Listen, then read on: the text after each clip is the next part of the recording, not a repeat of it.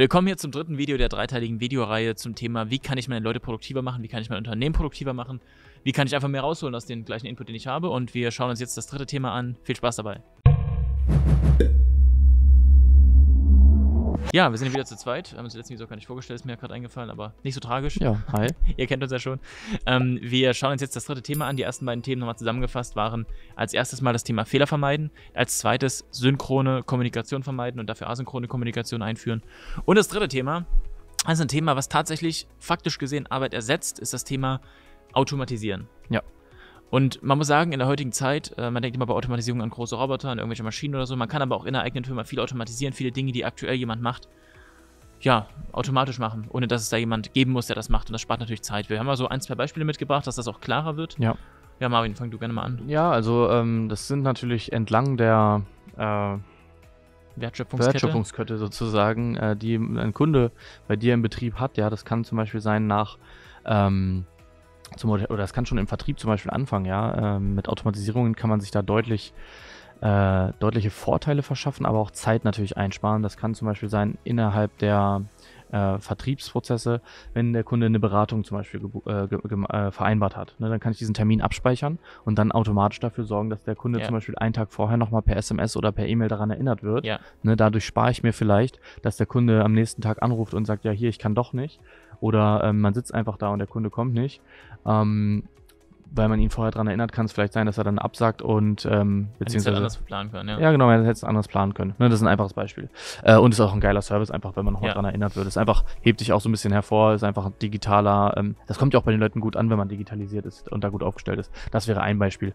Zweites Beispiel wäre angenommen, der Auftrag ist fertig, ja, ähm, der ja, Abwicklung ist fertig und dann wird dieser, ähm, dieser Auftrag einfach auf äh, die nächste Phase zum Beispiel in deinem Prozess geschoben und dann kann direkt eine Benachrichtigung rausgehen an deine, äh, an dein Büro, äh, in dem gesagt wird, bitte Rechnung dafür erstellen. Ne?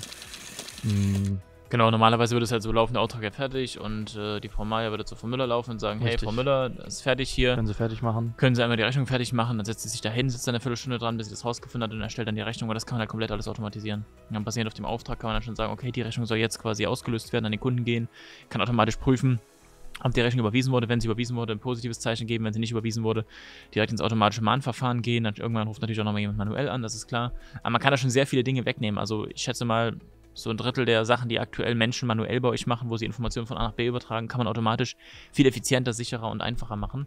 Ja. Anderes Thema vielleicht nochmal das Thema Buchhaltung. Ne? Ja. Das war früher bei uns immer Aufwand von ein bis zwei Tagen, die ganzen Belege zusammenzusuchen. Und ähm, das ist halt eine Person, die da einfach Vollzeit gefühlt zwei Tage dran sitzt, die Belege zu sammeln.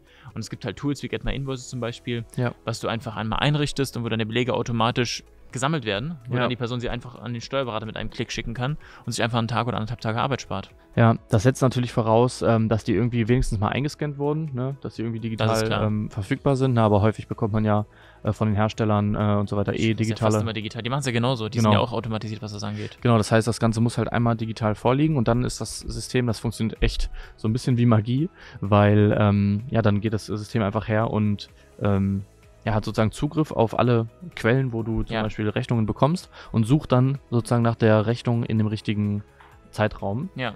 und äh, ja, sammelt die alle an einem Punkt. Das heißt, das, was vorher einfach man von Menschenhand gemacht hat, geht jetzt heutzutage mit solchen Sachen wie künstliche Intelligenz Ja. fast von alleine. Genau, und das sind halt auf jeden Fall äh, Dinge, die werden einmal eingerichtet, set it and forget it, dann laufen die durch, sorgen dafür, dass äh, Leute produktiver wieder an anderen Dingen arbeiten können und nicht diese sinnlos Sachen machen müssen, die auch eine Maschine genauso gut machen kann. Ja.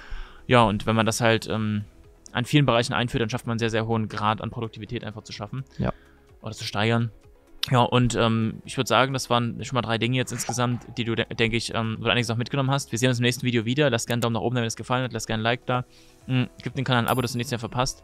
Und wir sprechen im nächsten Video wieder. Bis dann. Ciao. Ciao.